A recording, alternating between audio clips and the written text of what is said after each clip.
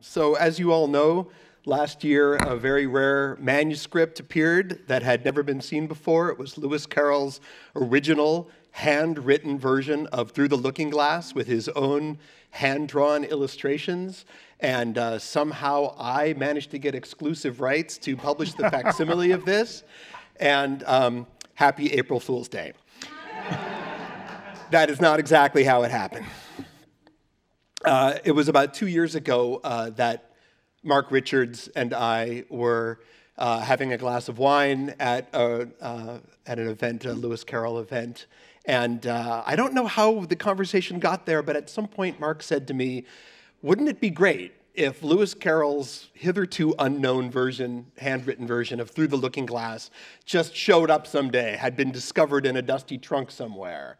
And I said, Yeah, that would be wonderful. Because, like many of you, I'm a big fan of Alice's Adventures Underground. I love seeing Lewis Carroll's original, handwritten intention of what he wanted, that what eventually became Alice's Adventures in Wonderland, but in his own handwriting and with his own charming but somewhat clumsy illustrations. Uh, I've, I've had my little Dover reprint of Alice's Adventures Underground since I was a teenager, and I've just always loved it. So the fantasy of there being a through the looking glass version of that, um, as soon as Mark mentioned it to me, I thought, uh, yes, if something like that showed up, of course there would be a facsimile for us all to buy. And then the next thing that came out of my mouth was so strange. I said, I would even buy a facsimile of such a thing if it was fake. and we laughed. And then I couldn't get it out of my mind. I thought, yeah, if somebody created a fake version of, of Through the Looking Glass manuscript and it was published in facsimile, I would buy it. And then I thought, well, probably so would hundreds of other people. Maybe, maybe we should create one. So I ran this idea past Mark Burstein uh, for some advice. And he said, Well, I don't know if you could sell that idea to a publisher, but you could self publish it. It's very easy to do nowadays, and the books could be printed on demand. And I said, All right, well, I, I need some help. I'm going to need an illustrator. He recommended Jonathan. I said, I'm going to need a book designer. And he recommended Andrew. So here are the three of us, uh, the dream team that created Looking Glass House. And uh, I don't know if the three of us have ever been in a room together, ever. Ever. This is the first time. We conducted our partnership completely by telephone and email and uh, created this book. And uh, if you don't have one, I brought several copies with me today that I can sell you. They're $20. I'll spare you the, the postage that you would have to pay on Amazon. Uh, if you uh, don't have one and don't want to get one today, you can get them on Amazon.com. And um, there's part of me that doesn't want to tell you anything about what's inside this book if you haven't seen it. Obviously, as these gentlemen talk, you're going to find out a little about this book. But part of its charm is that we wanted. We, we know that Lewis Carroll was a, had a very playful imagination. And in creating Alice's Adventures Underground, it's kind of a playful book in that um, there's kind of a little surprise on every page as you, as you go through it. And we wanted our book to feel as handmade as possible. We wanted Lewis Carroll's spirit to really uh, in, inhabit this book so that you really felt the playful spirit and quality of, of Lewis Carroll's creativity coming through in what we were creating in his style. So, um, uh, I'm not going to give any of those away. These gentlemen might, uh, but I don't want you guys to give too much away because Uh-oh. there's just so many good things in this book. Um, I'm just going to hold up um, uh, to give you an impression of what it looks like inside. Um, there is a tone to the pages that makes it look like a facsimile of, a, of an antique book. Um, the uh, um, uh, the chapter headings and the illustrations, we've, we've gone as far as we could to make this look as much like uh, Lewis Carroll's own work as possible. One of the heroes of this book that is not on this stage today is whoever came up with Lewis Carroll font. Because I don't think we would have taken on this project if we would have had to create Lewis Carroll's penmanship by hand. That was, that was just going to be too much work. But anyone can download Lewis Carroll font. So thank you, whoever did that. uh, so that we could, um, with a computer, render the text uh, into this kind of format. Um, uh, uh, gentlemen, why don't I hand it off to you guys? Um, oh, let me say one more thing. I knew there was one more thing I wanted to say. Print on demand. We wanted our book to look like it was a facsimile of something that had been created by hand. Print on demand is a system where these books are printed by a computer operated machine, a printing machine, with no human involvement. So we had to create what looked like a handmade book that would be made without any kind of human interaction. So basically, as our book designer, Andrew had to create a PDF that used all the characteristics of something that was supposedly made by hand, and this PDF would be dropped mechanically into a machine and printed in a way that was convincing enough to make it look like this was actually made by hand. I think we succeeded. Um, and uh, it was no easy task. So now I'm going to pass this on to you guys. You're, you first. We'll, we'll, we'll, talk to okay. our illustrator okay. first. So here's okay. Jonathan, who took on the unenviable task of imitating Lewis Carroll's illustration style. Well, and I keep telling, telling Daniel that you need to give him a little bit because it's like drugs and it like bit. makes him want more. It's and like then drugs. they come and then you charge them a lot of money for it. so, Go ahead. Okay. Um, so it feels weird because I'm talking about some pictures that we're pretending are by Lewis Carroll, but they're really not. And I did them. Um, so Daniel came to me and he said, "Yeah, like, give him a taste of it." And, um, he said, "Can you draw like Lewis Carroll?" And I said, oh, "Of course I can draw like Lewis Carroll." Lewis Carroll couldn't draw very well, so it'll be easy. Uh, so as soon as I committed to it, um, fear set in. And really, this is a good excuse to talk about Lewis Carroll's drawing style in a way, because I had to really immerse myself in it. And I haven't seen a whole lot on it, actually. Um, people say, yeah, Lewis Carroll drew his own pictures, but I don't know that I've seen a lot of analysis of of, of his pictures. So sure. maybe I can get into that uh, because I had to try to imitate that. That immersion, I think, was what was most rewarding to me because what I found is he was an amateurish artist. We know that, sort of crude. He had talent. But what made it hard is they're his. And um, they came from the same mind that wrote Alice, and the same mind that took those photos, and the same mind that we all love so I really had to immerse myself in that. And how do you draw a spirit? Because it, his pictures are pure, they're him. And so I could, yeah, I try to imitate a amateurish artist, but that wouldn't necessarily be Lewis Carroll. So that was the hard part. Um, how do you imitate a spirit? Um, I don't know. Uh, I know when I've done things related to Lewis Carroll, like uh, The Hunting of the Snark or um, when the Society published La Guida di Bragia for the first time, and I, I'm proud to say I was the first illustrator of a work by Lewis Carroll. And then the theater company I'm with in Santa Fe did La Guida di Bragia as a puppet production. My goal was always, I don't want to interpret Lewis Carroll, I want it to feel like him. That's the goal. It has to feel like him, and if it doesn't, it's a failure. So this was almost the most pure version of trying to feel like him is trying to draw like him. So I went through and I looked at all his pictures that I could find, and not just Alice Underground, but also his family magazines and um, this. Uh, they, uh, there's a good book by uh, Morton Cohen and Edward Wakeling collecting his Lewis Carroll's letters to his illustrators. It has a bunch of his sketches that he would send to his illustrators. And I just went through all those and just tried to pack it in so much that I, it would leak out of my fingers in the end um, without too much thought. You know, I hope I succeeded. There are a few times I think I fooled myself even when I was drawing these. I would get my pictures mixed up with some of his, and I would think, okay, in this picture I have to try to capture the spirit or the feel that Lewis Carroll had in his picture of Tweedledum and Tweedledee. I thought, no, wait, I did that one. um, so I I, I could see it coming out. The strange thing is sometimes it would work and sometimes it w- wouldn't. Like I'd be sitting down, and on some days, I couldn't do it. And I would start freaking out, saying, I've lost it. I've, I've lost the feel. And things would come out with good perspective or good anatomy. And I'd go, no, that's wrong. Um, and then the next day or a couple days, I'd let it go and, and I, it would flow again.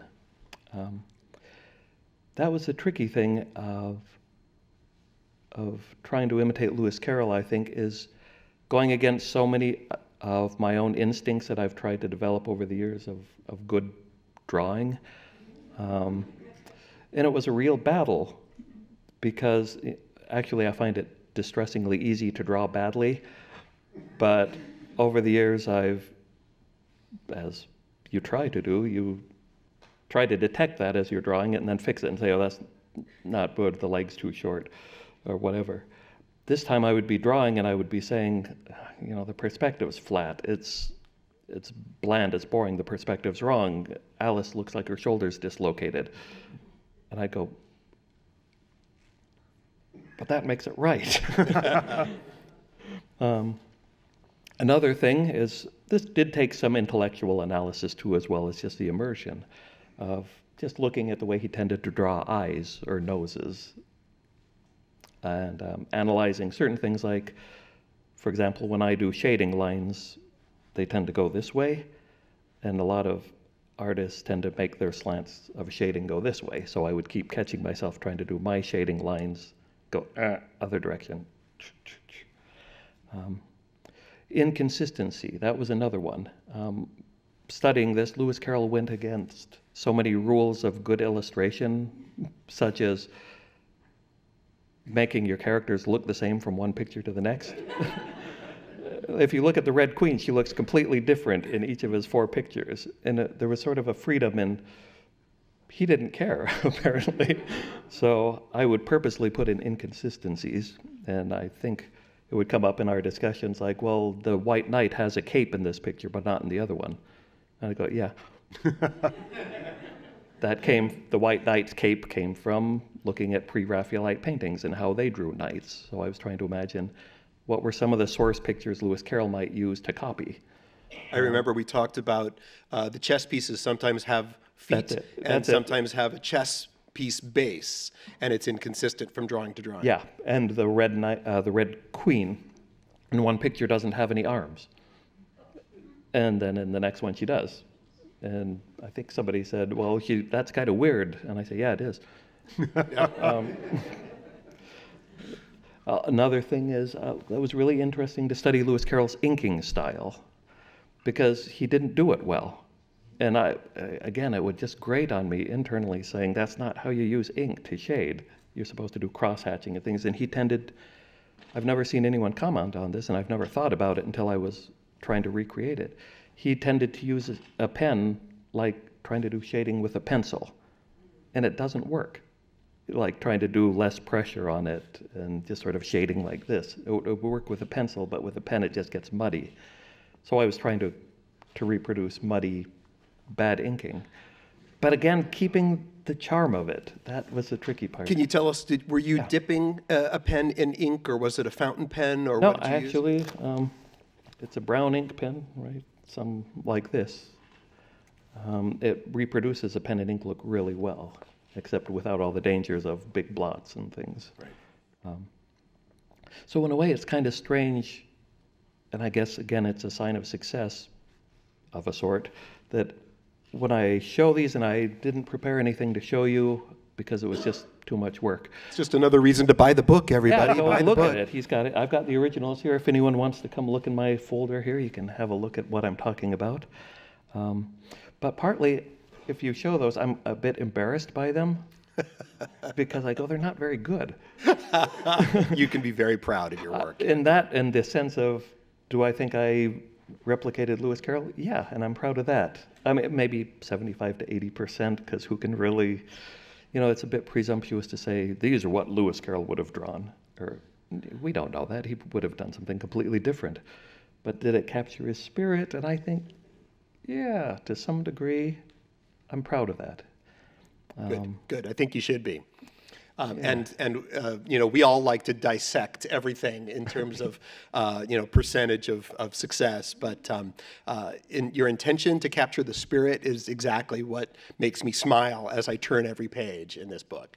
And and you know for those of us who were on the artistic team that created it, for us to like it as much as we all Yeah, do yeah. shows a lot about its success. Can I just throw in one quick more thing before we get to Andrew? One of my favorite parts, and it sort of typified the whole project, is I liked that Dan had based his editing down of the text on on what we know Lewis Carroll had really thought early on, like some of his notes that had um, that we have. And for example, one of the early chapters is called the the glass curtain, right? Right. and um, that's what he called it. So we, I, it was, it gave us a chance. Let's do something different instead of like the mirror turning into a mist, which is what it is in the final book. Let's try something different, but it's based on his idea. So let's do it parting like a curtain. So that's what I drew as Alice, like spreading the mirror aside like that. And So it's true to him, and I frankly I think it's a better image. I think he should have kept it in his final book, and it reflects Lewis Carroll's love of the stage.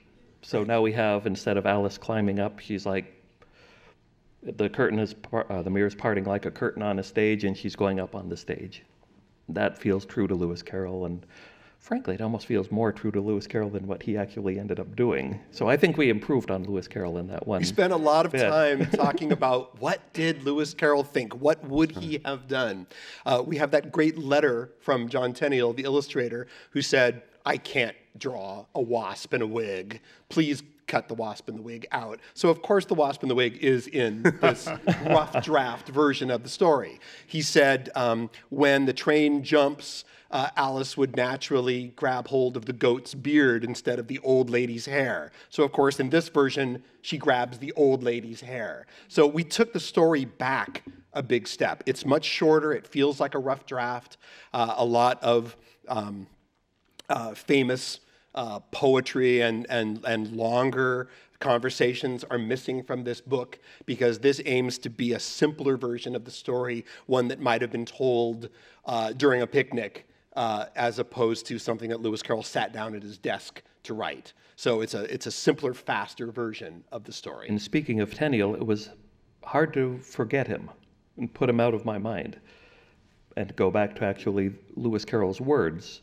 Um, for example, nowhere in, in the text, even the final one, does he say the white knight is old.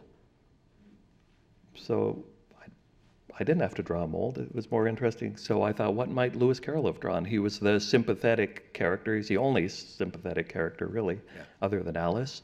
He's nice. Maybe he's a young noble knight. Maybe this is what maybe Lewis Carroll would base him on a Burne Jones painting of a noble knight. Right. So I tried to draw Lewis Carroll's version of a Burne Jones noble knight. Um, the chess pieces, and actually, I think the final book he even refers to them as having round heads, which is what chess pieces do have. And Tenniel drew them as like little people with costumes on. So I said, no, let's go back and draw them as chess pieces. Uh, He drew Lewis Carroll in his original, drew the cards as cards, not little guys wearing like sandwich board outfits. So I tried to make them look more like chess pieces. Andrew, tell us about the challenges of designing this book. I'm, I actually am going to show you on something on the screen in a moment, but first I would like to say, um, as Dan said, we were trying to make this look handmade. So all of these letters and the chapter openers were, were in fact drawn by hand. Oh, I'm not used to this thing. Uh, well, they weren't exactly drawn by hand. I took a, a typeface, which Dan approved, and t- printed them all out, traced over them, put scanned them in Photoshop, put them into Photoshop, squeezed them, hand colored them. um, so this this is actually the scan of the drawing that I did of the tracing that I did with an old-fashioned um, square nib pen, and I did these multiple times because I am hard. Excuse me, I'm hard to please. So I did them again and again and again. And then Dan said, "Oh, we should put color around them." So if you, when you get the book, you'll see there's a little bit of purple because we know Carroll liked purple ink. So we, I made them red, and then I had to put these purple outlines on them, and it wasn't easy. And the same thing was true with the cover. And as you can see, we, I picked up Jonathan's illustrations of Alice going through the mirror in the front and the back. And Dan and I, at the same time, I think our emails were almost simultaneous about let's reverse this on the back. Wouldn't that be cool? So it was great minds thinking alike. My granddaughter helped me pick the William Morris paper. Uh, I have a number of them. Again, the wonders of the wonders of technology. These papers exist on my computer, and I said, "Well, Rachel, what do you like? This one or this one or this one?" And she said, "Well, I like these three. And so we, I showed those three to Dan, and this is the one he picked. So I'm going to hold on to this. One. Sure. Also, I'd like to point out that when you look at the cover, sometimes it's easy to assume that an artistic team said, This is what we want. What you see on the cover is actually the 25th or 30th incarnation of should it be this? Oh, the letters should be narrower. Oh, that we don't like that. Um, Here's 50 different William Morris yeah. prints. so, uh, we, as a creative team, we went through many, many decision making processes, all through email, uh, to arrive at what we liked best. Um, once again, we're having some technical difficulties here. How do we close? We need to close this and open my PDF.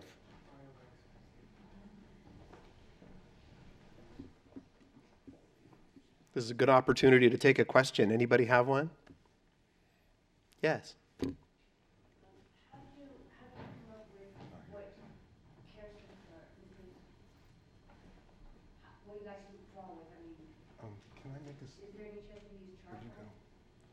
Uh, I just use pencil and uh, ink pen.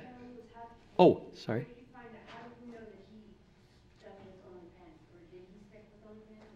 I. Okay. Oh, all I could go by is the reference books I had, and just looked like he did pencil pencil sketches or inked over them um, with a pen and ink that you dip. He would dip. I think that's it. I've never seen him use anything other, I think, than pencil and ink. I've seen uh, some of his original drawings, um, like in the original Alice manuscript that's in the British Library. I've actually seen that. Yeah, it's about that big. Yeah. And is there when you look at those illustrations, the originals, are they all completely inked? Is there any pencil visible I, on those? I was looking through all the facsimiles to see if there's any pencil where he missed erasing, but I think he erased pretty good. So it's all pen and ink? Yeah, that's all you can see now. Okay. And it's sort of a brownish ink, I think. Maybe that's age, so I used brown pens too. Because I know artists use brushes as well with ink, but I don't think that was his technique. It all looks like I never the nib saw of a that. pen. Yeah, so maybe some thicker pen tips and thinner ones, but it all looked like. there we go. So like this is pen. original. This is Lewis Carroll. Yeah. Yes. So th- this is Alice's uh, a, a spread from Alice's Adventures Underground, the facsimile version that I happen to have, which is, explains that silly little extra number up there. Does this? I was hoping this. Oh shoot! I was looking forward to this pointer, but it's not working. Oh well. Um, but as as we said, we had to consider what did Carroll do? How would and throughout we was thinking, what would CD do in this situation? Well, the other thing is, as a book designer, I know that there are many, many decisions that go into everything you see in every book you, you pick up. Most people are unaware of them and should be. If the book is saying, hey, look at my design, it's poorly designed. Um, that's the next. Yeah, I wanted. Just go to your left on there, Okay. Yeah, I, was, I wanted this to work, but that's okay. and it disappears on the screen. Oh, okay. So you can see, this is Carroll's page. These are the decisions that he made. He had a basic grid. He had a certain amount of space from the top of the page to where the page number was, a certain amount of space from where the page number was to where he started writing, and he had margins. These are all taken for granted, of course, but they are conscious decisions. The other interesting thing about Carroll, which will come up again later, was that he was very good at almost justifying his pages. He didn't quite, I mean, nobody can writing by hand, but his right hand margins are pretty clear. So I took his basic grid and I copied it. And so I, that's where he had his page numbers, those are his margins. I measured exactly how much space he had between his lines. And this, so this was my basic grid. And this is a chunk of manuscript. This is where, where we start. So basically I'm showing you pages progress. Um, now I also, we won, I wondered when he was producing this, did he rewrite? Did he cross out? Did he throw pages away where he'd made a mistake? Did he spill something? You know, all we have is the final book, which is what very interesting, but it would be so also interesting to know how many stages did he go through. We know it took him a long time to produce this.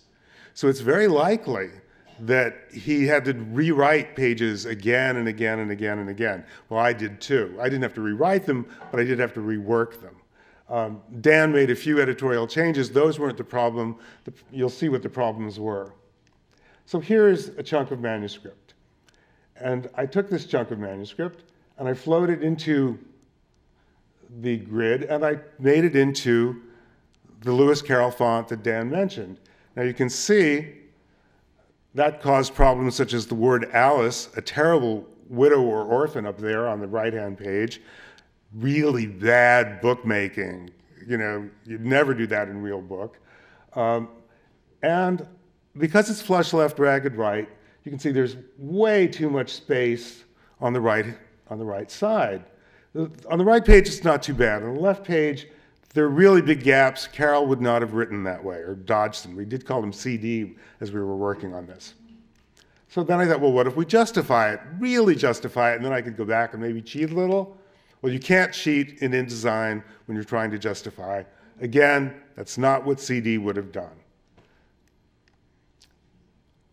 So we'll get to how I handled to make it look like what CD would have done. This is, uh, the next step was putting in Jonathan's sketch. In this case, it looks a little peculiar because I did what's called um, find, I found the outlines. I don't know why I did that. It, it didn't really matter. Oh, no, I do. I'm sorry. I do know why I did that. I thought at this point we were going to have a white background, so I was going to have to have white behind the drawings, and I wanted to get some idea of what they were going to be like. You can also see on the lower right where that arrow is, I had to make a separate text box to make it fit next to the illustration. Sometimes I could make it run around, sometimes I couldn't. Also notice it's very, it's justifying pretty well there. I, I don't remember why I put that arrow on the upper right anymore, sorry.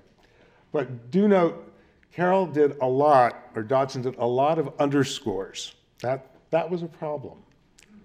Here they are. He did underscores, he did dashes, he did double hyphens. Every time he hyphenated a word, he didn't hyphenate it just at the end of the line where he wrote it. He also put a hyphen on the next line.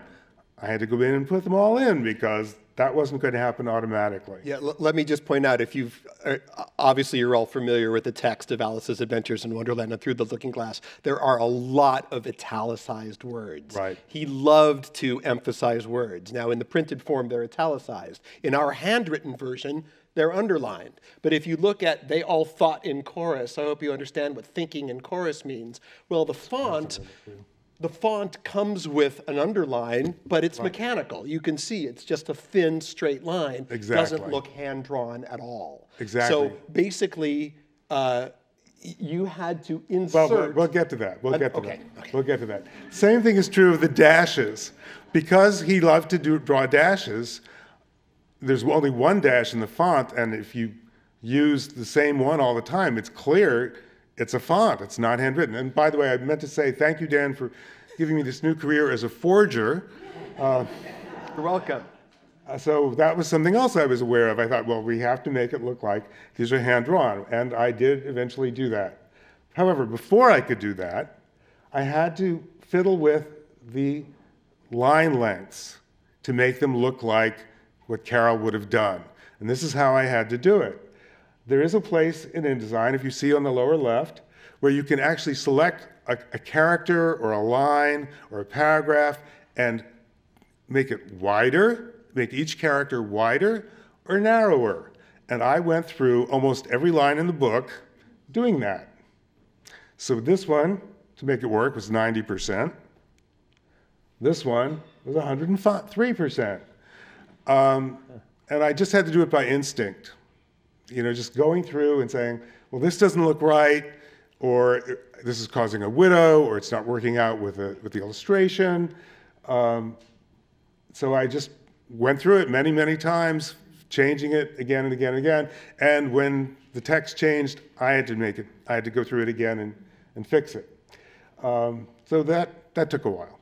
The other thing is that, as Jonathan pointed out, that Dodgson often put his type very close to his illustrations. Now, my guess is he would draw the illustration first on his piece of paper and then write around it, uh, which of course I, I wasn't doing. I did I put the illustration in afterward, but that's just a, a theory of my own. So once I had this set, I went back to Underground and I scanned and selected all the under, underscores and dashes I could find, and I made them into individual pieces of art.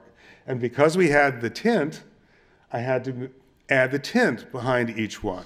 So that's what I put these larger ones at the bottom so it's clearer what the tint is. And then I went back.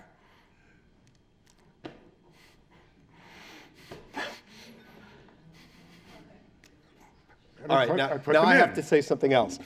Every time we made a small change in the text or in the way that uh, illustration was um, set on a page, the uh, computer, as computers do, wants to reset everything that follows it. Yes. Right? So if Andrew placed an underline on a page, it was there like an illustration and stayed put, even if the text shifted around it.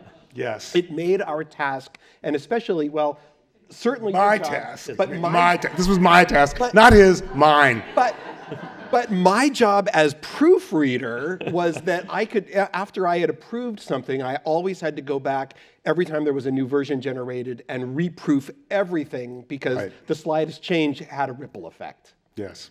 The dashes weren't so bad. The dashes, it was possible to insert like characters within the line so they would move with everything else. But the underscores were quite difficult. But we did this, and we got to the final page. It finished its progress. Um, so there's a question: How did I? start taking things out? Had given Andrew a, a you already cut it down. Yeah, I, I didn't want to make a lot of changes once both of these guys started their efforts, so I made my editorial pass first. I cut the story about in half. Um, Alice's Adventures Underground is about half the length of the finished version of um, Alice's Adventures in Wonderland. So that was my goal as well, to make it about half as long. So Andrew, what you really did, instead of the old world of hand setting type, you screen set this film. Uh, it's a new term, but you just said that. Yes. Well, I, I don't know what you would call it. I used the program I use is InDesign. Yeah, that's the program I use for the Knight Letter also. And I did learn things by doing this that I'm now able to apply to the Knight Letter. So it's, and as I work, have worked on the Knight Letter over the years, I hope you've seen it improve visually. It's going to continue to do that. Excuse me, I'm sorry. I, I do think that using a mechanical system to create something to look handmade, we probably forged new territory. Yes, forged, and forged is, is the apt word here. Yeah. Anyway, that is, the, the progress of the page is complete, and it is page 26, let's see. So our, our time is up. Is, did you have any more images to show? No, this is it, but I just, wa- except there's the page. Yay. So it actually worked. So, so we're out of time, but is there a quick question that we can address? Yes, sir. Uh, you used a lot of words uh, in, in getting Carroll's spirit. Do you ever feel the word channel? I live in Santa Fe, so I avoid that word because there are too many people who do that. No, did I ever feel like his spirit coming in, touching me? No. Um, Do I feel like I have a good sense of the man from all the years of reading him? Yeah, I think so. Yeah. How well are you getting on with the Sylvian? Sorry, here's, here's a microphone so everybody can hear you. There you go. How well are you getting on with the Sylvie and Bruno manuscript? Ah, yes. Well, that was uh, his original was just two pages long, and then he expanded it. Yeah, no, I'm a very good editor. I will tackle Sylvie and Bruno and give it to you to illustrate. We'll, we'll keep you informed of our progress. Yes. So um, there's a lot of interest in Leonardo da Vinci's left-handedness causing left cross, uh, left hatching. So uh, you didn't elaborate on that point. Was Lewis Carroll was Dodgson left-handed, and is that a clue to his personality? I, I, I don't know if I've ever. Is there a consensus about here about his right or left handedness? No, I think he's referring to Yeah. Shading.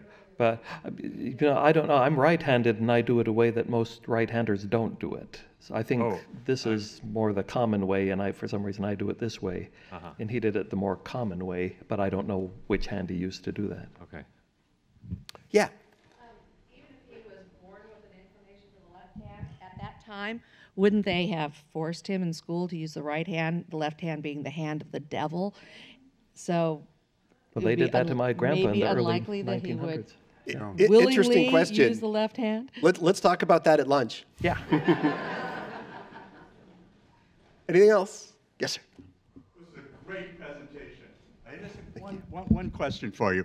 Are you at all scared that if Lewis Carroll's spirit looks down on what you've done and realizes you haven't given all the profits to a children's charity?